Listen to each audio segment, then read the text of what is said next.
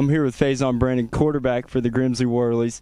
So it's going to be a new offense. We know. So with Ryan, he, he graduated. He's playing at ECU now. So now it's your time to shine. Kind of walk me through what we need to expect with this offense. I know you got a bunch of weapons, but you know through your eyes, what can we expect for the offense this upcoming season?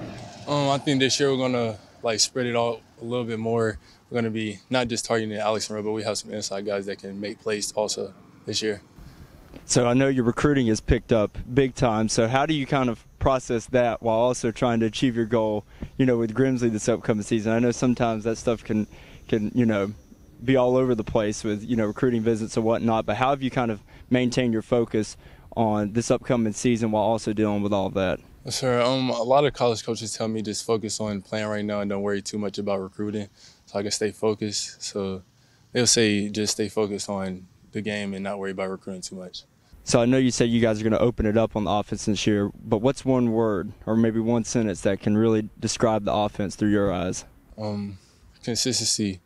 You know, I'm going to try to stay consistent with all the plays we're doing, not just try to go for big shots, but stay consistent all around.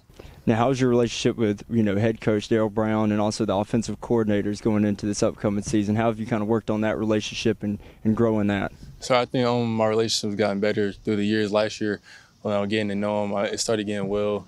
Was starting to get pretty good. Like getting to know him, talking to him every day during the morning, weight training, and then practicing evening. You know, it's getting pretty good. Awesome. Well, we can't wait to watch you, you know, being at the helm of the offense this upcoming season. We wish you the best of luck. Sir, thank you. Thank you, man.